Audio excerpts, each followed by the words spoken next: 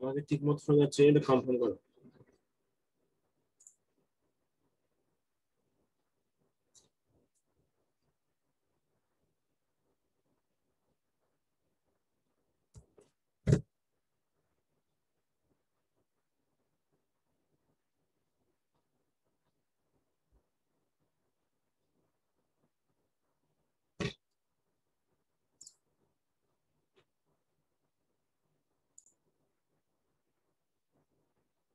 ঠিক আছে আমরা শুরু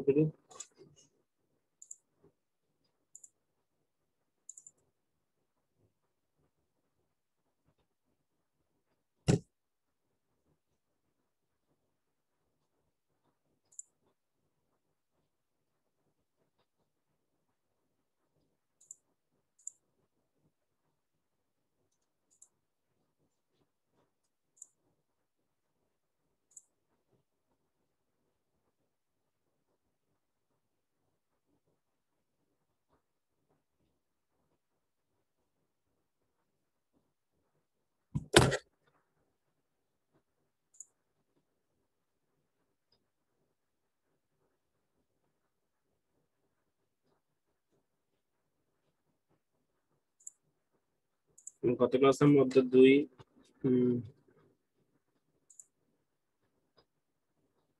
সালাম। আমার কি শিখমা শোনা যাচ্ছে কিনা একটু বলো আমাকে।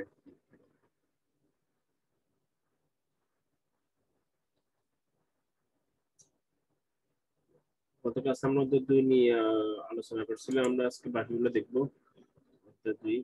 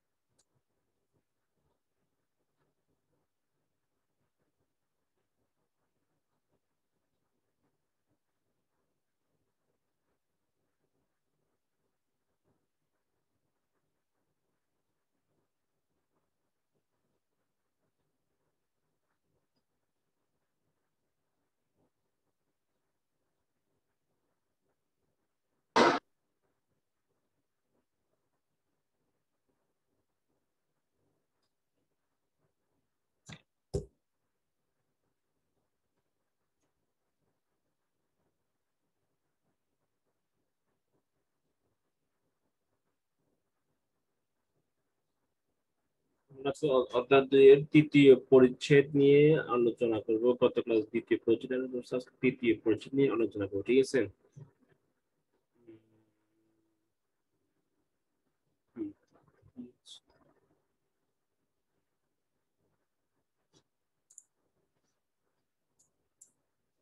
ঠিক আছে শুরু করি আমাদের অধ্যায়ের নাম, তৃতীয় পরিচ্ছেদের নাম হচ্ছে যে মাছ চাষের জন্য পুকুর খনন ও প্রস্তুতকরণ ঠিক আছে? আমার কথা ঠিক মতো বুঝতে যাচ্ছে কিনা? আমি একটু কনফার্ম করো। মাছ চাষের জন্য সর্বপ্রথম যেটি প্রয়োজন তা হচ্ছে নতুন পুকুর খনন অথবা বিদ্যমান পুকুরের চাষের জন্য প্রস্তুতকরণ ঠিক আছে? নতুন পুকুর খননের জন্য আমাদের কি কি মাথায় রাখতে হবে? সেটা হচ্ছে যে মাছ চাষের জন্য সর্বপ্রথম যেটি প্রয়োজন তা হচ্ছে পুকুর খনন, ঠিক আছে? আচ্ছা একটি আদর্শ পুকুর খনন করতে কোন স্থানে পুকুর খনন করতে হলে এটি আদর্শ পুকুরে যে বৈশিষ্ট্য থাকা রাখা যথা সম্ভব, সেগুলো বজায় রাখা রেখে পুকুর খনন করতে হবে। ঠিক আছে? পুকুর খননের সময় পুকুরটি যথাসম্ভব আয়তাকার রাখার চেষ্টা করতে হবে। পুকুরের গভীরতা কোনোভাবে এমনভাবে প্রয়োজন করা প্রয়োজন। যেন সারা বছর দেড় থেকে দু মিটার পানি থাকে। খননের সময় পুকুরের ঢালের পাড়ের ঢাল ন্যূনতম এক দশমিক পাঁচ অনুপাত দুই রাখা উচিত। তবে মাটির মাটিতে বালির পরিমাণ বেশি হলে এক দশমিক তিন করা নিরাপদ। অন্যথায় পুকুরের পাড় ভেঙে গিয়ে অল্প দিনে ব্যবহার অনুপযোগী হয়ে পড়বে। পুকুর খননের স্থানে যদি উপরের মাটি ভালো বা উর্বর হয়, তবে পুকুর খননের সময় আলাদা করে সরিয়ে রাখতে হবে।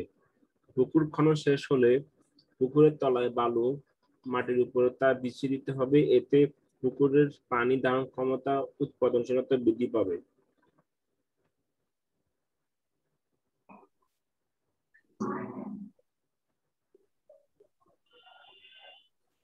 ঠিক আছে? এছাড়া পুকুর পাড়ে উপরিভাগের, উপরিভাগে আড়াই মিটার চড়া হলে ভালো হয়। পুকুরের উপরি, উপরিতলের ধার এবং পাড়ের মধ্যবর্তী কিছু স্থান ফাঁকা রাখা হয়। ওই জায়গাটুকু, ওই জায়গাটুকুকে বকচর বলে। পুকুরের তলা সমান, অথচ একদিকে একটু ঢালু করতে হবে। এতে পানি শেষ ও মাছ আরোহণের সুবিধা হবে। পুকুর খননের পর দরমুজ দিয়ে পিটিয়ে পাটে মাটি শক্ত করে দিতে হবে এবং পাড়ে ঘাস লাগিয়ে দিতে হবে। এতে করে পাড় ভেঙে যাওয়ার প্রবণতা কমে যাবে। বর্ষার পাড়ের মাটি ক্ষয় হবে না। ঠিক আছে? একটি আদর্শ পুকুরের চিত্র এখানে দেওয়া হয়েছে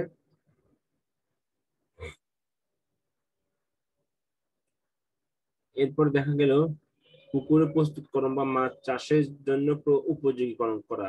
মানে একটা পুকুর যখন খনন করব, এরপরে তার মাছ চাষ উপযোগী করার জন্য আমাদের এগুলো একটু খেয়াল রাখতে কি কি? পুকুরে পুকুরের প্রস্তুতি মাছ চাষের জন্য খুবই গুরুত্বপূর্ণ। মাছ পালনের পূর্বে বিদ্যমান পুকুর সংস্কারের মাধ্যমে ভালোভাবে প্রস্তুত করে নিলে মাছ স্বাস্থ্যসম্মত বসবাসের অনুকূল পরিবেশ পায়। এতে মাছের দ্রুত দহি বৃদ্ধি ঘটে ও রোগ বালায় কি হয়? রোগ বালায় কম হবে।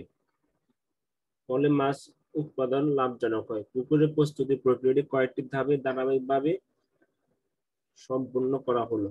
হয়। ধাপগুলো কি কি? আমরা একটু দেখি। ধাপগুলো হচ্ছে যে পুকুরের পার ও তলদেশ মেরামত, ঠিক আছে? পুকুরের পার ভাঙ্গা থাকলে অতিরিক্ত বৃষ্টিতে বা বর্ষাকাল বর্ষাকাল, পুকুরের পার বাংলা ভাঙা থাকলে বর্ষাকাল এবং বৃষ্টিতে বন্যায় মাছ বেঁচে যেতে পারে বা রাক্ষসে মাছ ঢুকতে পারে। তাই পার ভাঙা থাকলে মেরামত করতে হবে এবং পার উঁচু করে বাঁধতে হবে। পারে বড় গাছপালা থাকা উচিত নয় বা থাকলেও তার ছোট ছোট ছেটে দিতে হবে। এতে করে পুকুর সূর্যের আলো পড়বে এবং পুকুরের প্রাকৃতিক খাদ্য তৈরি হয়। পুকুরে পুরানো ফলের তলায় অতিরিক্ত কাদা জমা হয়। এই অবস্থায় বিশ থেকে পঁচিশ সেন্টিমিটার কাদা ডেকে অতিরিক্ত কাদা তুলে ফেলতে হবে। পুকুর শুকিয়ে সহজে, পুকুর শুকিয়ে তা সহজে তা করা যায়। মাছ চাষে পুকুরের তিন থেকে চার বছর পর পর একবার শুকানো উচিত। পুকুর শুকনো পর কড়া রোদে তলায় ফাটল ধরাতে হবে। সম্ভব হলে পুকুর তলা চাষ দিতে হবে। চাষ দিয়ে নিতে হবে। এতে করে পুকুর তলা থেকে বিষাক্ত গ্যাস, অতিরিক্ত ব্যাকটেরিয়া, পোকামাকড় দূর হবে এবং পুকুরের পরিবেশ কি থাকবে পাল্টাবে এতে? এরপর পুকুরের তলদের সমান করে নিতে হবে। পুকুরের তলায় একদিকে ঢালু হলে ভালো হয়, এতে মাছ ধরতে বা জাল টানতে কি হবে? সুবিধা হবে। পুকুরে পার বা এবার হচ্ছে জলজ আগাছাতমন আগাছা। পুকুর পার এবং ভিতরে বিভিন্ন আগাছা যেমন কচুরি পানা, খুদি পানা কর্মীলতা শ্যাওলা ইত্যাদি থাকলে তা ভালোভাবে পরিষ্কার করে ফেলতে হয়। আগাছা পুকুরের, আগাছা পুকুর দেওয়া শ্বাস শোষণ করে নেয়, সূর্যের আলো পড়তে বাধা দেয় এবং মাছের স্বাভাবিক চলাচলে বাধা দেয়। আগাছার মধ্যে মাছের শত্রু যেমন রাক্ষস মাছ সাপ ব্যাং ইত্যাদি লুকিয়ে থাকে এবং মাছ ধরে খায়। বিভিন্ন রাসায়নিক দ্রব্য যেমন কপার সালফেট, তুতে, সিমাজিন ইত্যাদি ব্যবহার করে জলজ আগাছা দমন করা যায়। তবে রাসায়নিক দ্রব্য ব্যবহার করা কাঙ্ক্ষিত নয়। গ্লাস কাপ সরপতি উদ্ভুত বুঝি পানি, চলা মাছ। চাষকালীন সময়ে পুকুরে এসব মাছ ছেড়ে জৈবিক পদ্ধতিতে আগাছা নিয়ন্ত্রণ করা যায়। রাক্ষসের মাছ বা রাক্ষসে বা অচাষযোগ্য মাছ দূরীকরণ। বিভিন্ন রাক্ষসে মাছ যেমন শোল, বোয়াল, চিতল, ফলে, টাকে, গজার ইত্যাদি সরাসরি সরাসরি চাষের মাছ খেয়ে ফেলে। এদের পুটি, চাপিলা, চান্দা ইত্যাদি অসারযোগ্য মাছ। এই চাষযোগ্য মাছ জায়গায় খাদ্য, অক্সিজেন সবকিছুতেই ভাগ বসায়। এগুলো আমাদেরকে দূর করতে হবে। ফলে চাষকৃত মাছের উৎপাদন কমে যায়। নিচে যে কোনো পদ্ধতিতে রাক্ষসের অবাধযোগ্য নয়, এমন মাছ দূর করা যায়। ক, পুকুর শুকিয়ে। পুকুরের পানি তলিয়ে সব পুকুরের পানি শুকিয়ে সব মাছ ধরে ফেলা যায়। অনেক মাছ পুকুর তলায় কাদা লুকিয়ে রাখতে পারে, তাই কড়া রোদের পুকুর শুকিয়ে ফেলতে হবে।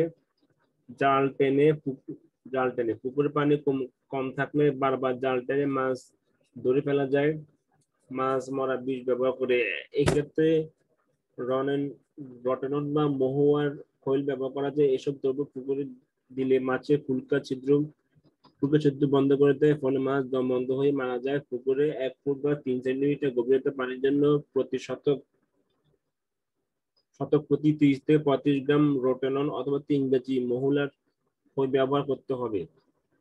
এই জন্য মোট পরিমাণকে তিন ভাগে ভাগ করতে হবে। এক ভাগ এক ভাগ দিয়ে কায় তৈরি করে ছোট ছোট বল বানিয়ে পুকুরের বিভিন্ন স্থানে দিতে হবে বাকিটি বা পানিতে গুলিয়ে পুকুরে ছিটিয়ে দিতে হবে। এরপর জাল টেনে পুকুরে পানি উলট পালট করে দিতে হবে। মাছ ভাসতে শুরু করলে জাল টেনে ধরে ধরে ফেলতে হবে। বীজ দেওয়ার সাত থেকে দশ দিন পর পুকুরে পানি ব্যবহার করা যাবে না বা নতুন মাছ ছাড়া যাবে না। রোটনন ব্যবহৃত মৃত মাছ খাওয়া যাবে। পুকুরে রাসায়নিক বিষ ব্যবহার করেও মাছ মারা যায়, যেমন ফক্সটক্সিন ট্যাবলেট তবে রাসায়নিক দ্রব্য ব্যবহার করা মাছ মারা ঠিক নয়, চুন প্রয়োগ। পুকুরের, পুকুর শুকনোর পর তলায় চুন ছিটিয়ে দিতে হবে। পুকুরের তলায় চাষ দেওয়া হলে চাষের দিন চুন দিতে হবে। পুকুরে পানি থাকলে অ্যালুমিনিয়াম, বালতি বা ড্রামে চুনগুলো, গুলার পর ঠান্ডা হয়ে সমস্ত পুকুরে কি করতে হবে? ছিটিয়ে দিতে হবে। চুন প্রয়োগের উপকারিতা। চুন ও মাটি পানির উর্বরতা বাড়ায়, পানির পিএইচ নিয়ন্ত্রণকে পিএইচ মানে বলতে আমরা কি বুঝি? পিএইচ বলতে বুঝি ক্ষার এবং অ্যাসিডের যে মান, দাম মানদণ্ড যেগুলো যেগুলো ঠিক করে, যে যেগুলো ঠিক করে সেটা হচ্ছে পিএইচ যেমন আমরা জানি যে পিএইচ পিএইচ এর নিরপেক্ষ হচ্ছে সাত সাতের থেকে কমলে বাড়লে আমাদের অ্যাসিড এবং খারাপের মান বেড়ে যায় এবং কি হয়ে যায়? কমে যায়। পানি ঘনত্ব কমায় পানি পরিষ্কার রাখা, মাছের রোগ বালায় দূর করা, এমন সারের কার্যকারিতা বৃদ্ধি করা। পুকুরের তলদেশের মাটি প্রকারভেদে পুকুরের বয়স ও পানি পিএইচ মান উপর চুন প্রয়োগের পরিমাণ নির্ভর করে। যেমন, এলে মাটি, কাদা মাটি, লাল মাটির পুকুরে চুন একটু বেশি দরকার হয়। নিম্নে পিএইচ মানের উপর ভিত্তি করে চুন প্রয়োগ করা হয়। চারটা একটু খেয়াল করো। পিএইচ মান যখন তিন থেকে পাঁচ থাকবে, তখন আমরা বারো শতক বা প্রতি শতক কেজি দিব এত সাধারণত আমাদের দেশে প্রতি শতকে এক থেকে দুই কেজি প্রয়োগ করা হয়। আর যখন পিএইচ মান পাঁচ থেকে ছয়, তখন আট কেজি আর ছয় থেকে সাত হলে পিএইচ মান, তখন আমরা দিব দুই। সার প্রয়োগ। সার প্রয়োগের ফলে পানিতে মাছের প্রাকৃতিক খাদ্য তৈরি হয়। ঠিক আছে মাছের মাছের প্রাকৃতিক খাদ্যটা কি হবে? তৈরি হয়। এখন মাছের প্রাকৃতিক খাদ্য খাবার হচ্ছে কি কি? প্লাইটোপ্লাঙ্কটন বা জুপ্লাঙ্কটন লাইনটিকে দাগাও। মাছের প্রাকৃতিক খাবার প্লাইটোপ্লাঙ্কটন জুপ্লাঙ্কটন সার প্রয়োগের ফলে পানিতে বিভিন্ন পুষ্টি উপাদান যেমন ফসফরাস পটাশিয়াম পানিতে মিশে। এই পুষ্টি উপাদান ব্যবহার করে পানিতে প্লাইটোপ্লাঙ্কটন তৈরি হয় আর প্লাইটোপ্লাঙ্কটনের উপর নির্ভর করে জুপ্লাঙ্কটন তৈরি হয়। সার দুই প্রকার। একটা জৈব সার, যেমন গোবর হাঁস মুরগি ইত্যাদি। আর হচ্ছে অজৈব সার, যেমন ইউরিয়া টিএসপি এমওপি ইত্যাদি। চুন প্রয়োগের পাঁচ থেকে সাত দিন পর সার প্রয়োগ করতে হবে।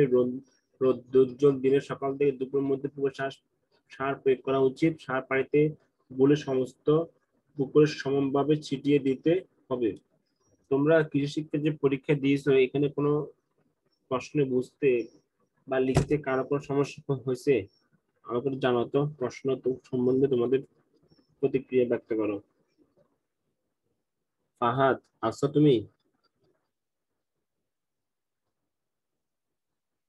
এমডি ইউসুফ, আছো? শামীম চৌধুরী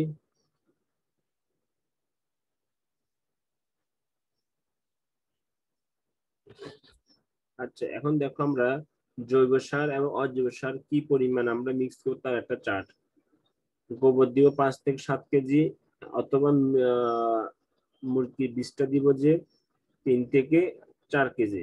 আর অজৈব চার অজৈব সারের ক্ষেত্রে ইউরিয়া দিব এক থেকে একশো থেকে দেড়শো গ্রাম টিএসপি দেওয়া হবে পঞ্চাশ থেকে পঁচাত্তর গ্রাম এবং ও এমপি দেওয়া হবে কি হবে বিশ গ্রাম। ঠিক আছে? প্রাকৃতিক খাদ্য পরীক্ষা, পুকুরে পোনা মজুদের পূর্বে সার প্রয়োগের পাঁচ থেকে সাত দিন পর পুকুরে প্রাকৃতিক খাদ্য তৈরি হয়েছে কিনা তা পরীক্ষা করে দেখতে হবে। কয়েকটি পদ্ধতি এটি করা যায়। এটি হচ্ছে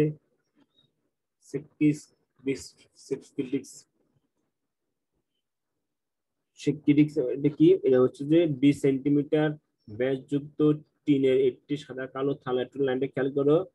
বিশ সেন্টিমিটার ব্যাসযুক্ত টিনের একটি সাদা কালো থালা সুতো দ্বারা পানিতে ডুবানো পর বিশ থেকে বিশ থেকে তিরিশ সেন্টিমিটার গভীরতা থালা দেখা না যায়, তবে বুঝতে হবে পুকুরে প্রাকৃতিক খাদ্য তৈরি হয়েছে। যদি তিরিশ সেন্টিমিটার, বিশ সেন্টিমিটার বা অধিক গভীরতায় স্বীকৃতি দেখা যায়, তবে বুঝতে হবে খাদ্য খাবার কম। হাত পরীক্ষা। পানিতে হাতের কোনোই পর্যন্ত ডুবিয়ে যদি হাতের তালু দেখা না যায় তবে, যায়, দেখা না যায় তবে বুঝতে হবে খাদ্য পরিমাণ মতো তৈরি হয়েছে।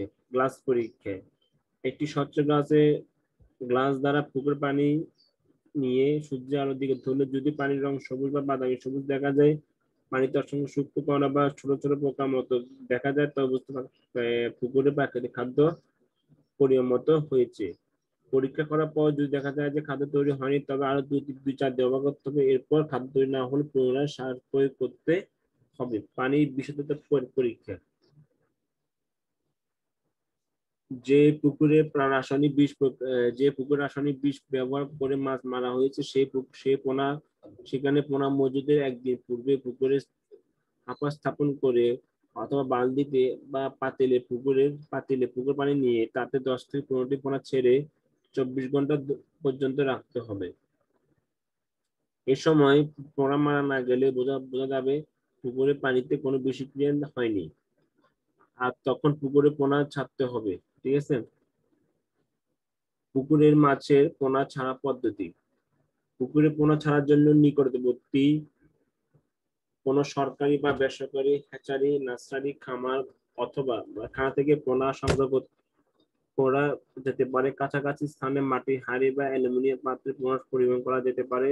কিন্তু দূরবর্তী স্থানের ক্ষেত্রে পলিথিন ব্যাগ অক্সিজেন দিয়ে, নিয়ে পোনা পরিবহন করা উচিত। এক্ষেত্রে পলিথিন ব্যাগে তিন ভাগে, এক ভাগ পানি এবং দুই ভাগ অক্সিজেন নিয়ে, দিয়ে পোনা পরিবহন করতে হয়। লাইটটা দাগাও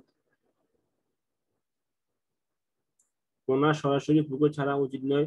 পোনা ছাড়া, ছাড়ার পূর্বে পোনাকে পুকুরের পানির সাথে খাপ খাইয়ে নিতে হবে। এই জন্য পোনা ভর্তি পলিব্যাগ বা পাত্র পুকুরের পানিতে পনেরো থেকে বিশ মিনিট ভাসিয়ে রাখতে হবে। এ সময় অল্প অল্প করে পলিথিনে পাত্রে পুকুরের পানি মেশাতে হবে। এতে করে পাত্রের তাপমাত্রা ও পুকুরের পানি তাপমাত্রা প্রায় সমান হবে। এরপর পলি, পলিব্যাগ বা পাত্র কাত করে আস্তে আস্তে ভিতরে পুকুরে পানি ঢেলে দিলে পোনা ধীরে ধীরে পুকুরে চলে যাবে। সকালে বা বিকালে দিনের ঠান্ডা আবহাওয়া হয়, পুকুরে পোনা ছাড়তে হবে। পোনা ছাড়া পূর্বে শোধন করে নিলে পোনাগুলো কোনো ক্ষতিকারক পরজীবী দ্বারা আক্রান্ত থাকলে তাতেই মুক্ত হবে। রোগ আক্রান্ত হওয়ার সম্ভাবনা কম হবে এবং মৃত্যু যুগে কি হবে? কম হবে। আচ্ছা এছাড়াও এছাড়াও যেটা খেয়াল রাখতে সেটা হচ্ছে যে পোনা ছাড়া পূর্বে আমাদেরকে দেখতে হবে এরা পরজীবী দ্বারা আক্রান্ত কিনা। যদি তারা পরজীবী দ্বারা আক্রান্ত হয়ে থাকে তাহলে তা মুক্ত আক্রান্ত থাকে তা মুক্ত হবে এবং রোগাক্রান্ত হওয়ার সম্ভাবনা কম থাকবে এবং মৃত্যু ঝুঁকিও কি থাকে? কম থাকে। আচ্ছা এছাড়াও বালতি বা পাতিলে দশ লিটার পানিতে এক চামচ পটাশিয়াম পার ম্যাগনেট লাইনটা দেখো, পটাশিয়াম পার ম্যাগনেট অথবা দুশো গ্রাম লবণ মিশিয়ে তাতে প্রতিবার তিনশো থেকে পাঁচশোটি পোনা আধা ঘণ্টা, আধা মিনিটে গোসল করাতে হবে। এরপর তৈরিকৃত মিশ্রণে চার থেকে পাঁচবার শোধন করা যাবে। তাই পুকুরের জায়গা অনুযায়ী নির্দিষ্ট পরিমাণে পোনা ছাড়তে হবে। কতটুকু পোনা ছাড়তে হবে তা নির্ভর করবে পুকুরের গভীরতা, কতটুকু জায়গা ধরে পুকুর তৈরি করা হচ্ছে তার উপরে, ঠিক আছে?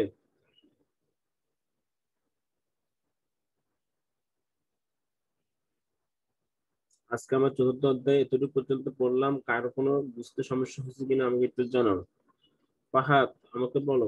পরীক্ষার যে দিয়েছ, প্রশ্নে কোনো সমস্যা ছিল কিনা বা প্রশ্নে বুঝতে সমস্যা হয়েছে কিনা? পরীক্ষা তোমাদের কেমন হয়েছে? পাহাত আসো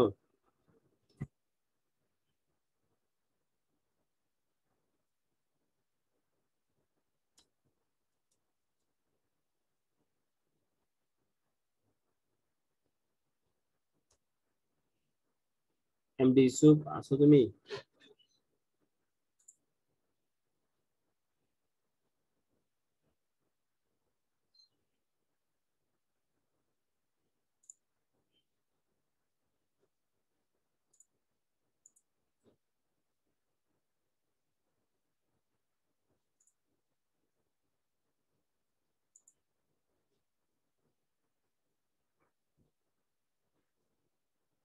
আচ্ছা আমরা আজকে চতুর্থ বা চার পরিচ্ছেদ নিয়ে একটু আলোচনা করি।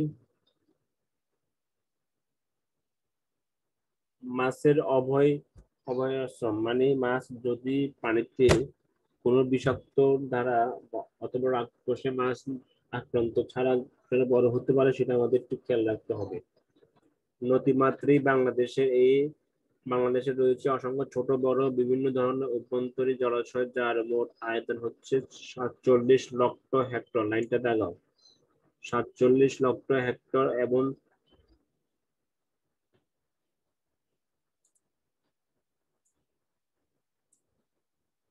এবং আরও রয়েছে এক দশমিক ছয় লক্ষ বর্গ কিলোমিটার সুবিশাল বঙ্গোপসাগর। বাংলাদেশের অভ্যন্তরীণ জলাশয়ের প্রায় শতকরা অষ্টাশি ভাগ হচ্ছে মুক্ত জলাশয়, যেমন নদ, নদী বিল সুন্দরবন, জলভূমি, কাপ্তাই লেক, হাওর ও প্লাবন ভূমি, যার মোট আয়তন হচ্ছে চল্লিশ দশমিক পঁচিশ লক্ষ হেক্টর। ঠিক আছে?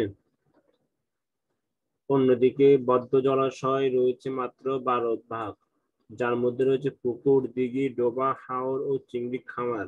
এদের মোট আয়তন হচ্ছে ছয় দশমিক আটাত্তর লক্ষ হেক্টর বাংলাদেশে বর্তমানে মোট মাছ উৎপাদনের শতকরা আশি ভাগ আসে অভ্যন্তরীণ জলাশয় অত আর ভাগে বিশ ভাগ আসে সামুদ্রিক মাছ আরোহণে। লাইনটা দাগাও। সুদূর অতীতে প্রাকৃতিকভাবে এদেশে অভ্যন্তরীণ মুক্ত জলাশয় সমূহে বিভিন্ন প্রজাতির প্রচুর মাছ ধরা করতো ঘাটে ষাটের দশকের এই পরিমাণ ছিল প্রায় আশি পার্সেন্ট। বিগত দশ- দশকে জনসংখ্যা বৃদ্ধি, অতিরিক্ত পানি ব্যবহার, কৃষিকাজে কীটনাশক যথেষ্ট ব্যবহার, শিল্পায়নে পানি, ফলে পানি দূষণ, অতিরিক্ত মৎস্য আরোহণ, নির্বিচারে ডিমওয়ালা ও পোনা মাছ নিধন, নদীতে অপরিকল্পিত বাঁধ ও অবকাঠামো নির্মাণ, পরিবেশে ভারসাম্যহীনতার কারণে বর্তমানে অভ্যন্তরীণ মুক্ত জলাশয় হতে এই উৎপাদন নেমে দাঁড়িয়েছে মাত্র পঁয়ত্রিশ পার্সেন্ট লাইনটা দেখাও আর বাকি সাতচল্লিশ পার্সেন্ট আসে বিভিন্ন বদ্ধ জলাশয়ে চাষকৃত মাছ থেকে এবং আঠারো পার্সেন্ট আসে সামুদ্রিক মৎস্য হতে। মুক্ত জলাশয় শুধু উৎপাদনই নয়, সেই সাথে মাছের জীববৈচিত্র্য দিনে দিনে হ্রাস পাচ্ছে। ইতিমধ্যে বাংলাদেশে মোট দুশো ষাট প্রজাতির স্বাদুপানি মাছের মধ্যে বারোটি চরম বিপন্ন ও আঠাশটি বিপন্ন ও চোদ্দটি ঝুঁকিপূর্ণ প্রজাতির মধ্যে হিসাবে চিহ্নিত হয়েছে। যে প্রজা, যে প্রজাতি প্রাকৃতিক জলাশয় থেকে অচিরে বিলুপ্ত হওয়ার ঝুঁকি মোকাবেলা করেছে, তাকে চরম বিভিন্ন বিভিন্ন প্রজাতি যেমন সরপুটি, মহাশোল বাগাইশ আর যে প্রজাতি অদূর ভবিষ্যতে বিলুপ্ত হওয়ার ঝুঁকি মোকাবেলা করেছে, তা বিভিন্ন প্রজাতি বলে। অন্যদিকে অন্যদিকে যে প্রজাতির বিভিন্ন না হলেও মধ্যমেয়াদী ভবিষ্যতে বিলুপ্ত হবার আশঙ্কা রয়েছে, তাদের মধ্যে হয়ে ঝুঁকিপূর্ণ প্রজাতি তাদের মধ্যে রয়েছে রানী, পাবদা, ট্যাংরা ইত্যাদি। আর ঝুঁকিপূর্ণ প্রজাতি গুলো হচ্ছে ফলি, সুলসা কাজবিন মেনি ইত্যাদি। শামীম চৌধুরী মিউট করো।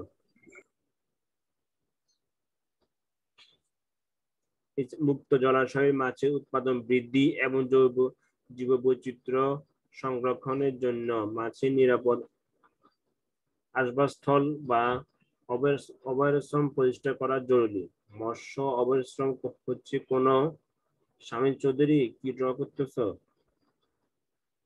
মৎস্য অভয়াশ্রম হচ্ছে কোন জলাশয় বা নির্দিষ্ট অংশ, কোন হাওর, বিল বা নদীর কোনো অংশে যেখানে বছরের নির্দিষ্ট সময় বা সারা বছরের দীর্ঘমেয়াদের জন্য বা অথবা স্থায়ী মাছ ধরা নিষিদ্ধ করা হয়। অনেক সময় উক্ত অনেক সময় অনেক সময় উক্ত নির্দিষ্ট স্থানে মাছ আরোহণ যেন না হয়, এজন্য গাছপালা, ডালপালা, বাঁশ ইত্যাদি স্থাপন করা হয়। এতে করে যে সেখানে মাছ নিরাপদ আশ্রয় পায়, মুক্তভাবে বিচরণ করতে পারে এবং অবৈ অবাধ প্রজনন করাতে পারে। তোমরা জানো যে এখন লাস্ট দুই মাস ধরে সমুদ্রে মাছ নিধন নিষিদ্ধ করা হয়েছে। কেন? সমুদ্রের মাছগুলো যেন ডিম ছেড়ে তারা বড় হতে পারে অথবা ডিম ছাড়তে পারে, সেজন্য মাছের ধরা এখন বন্ধ আছে। এই জন্যই আমাদের বর্তমানে দেশে বিভিন্ন নদ নদী অভ্যন্তরীণ মুক্ত জলাশয়ে প্রায় পাঁচশোটির মতো অবশ্রম অবশ্রম পরিচালনা করা হয়। ঠিক আছে? আজ আমরা এতটুকু পর্যন্ত পড়ব। নেক্সট ক্লাসে ইনশাল্লাহ আমরা বাকিটুকু কভার করব এবং অবশ্যই অবশ্যই মনে রাখবে, যতটুকু পড়ালাম আমি নেক্সট ক্লাসে ততটুকু থেকে তোমাদের এমসিকিউ নিব, অতএব তোমরা একটু ভালো করে দেখে আসবে, ঠিক আছে? তাহলে আমি আজকে ক্লাসটা এখানে শেষ করতে চাচ্ছি। ঠিক আছে সবাই, তাহলে ভালো থেকো, সুস্থ থেকো, আল্লাহ হাফেজ।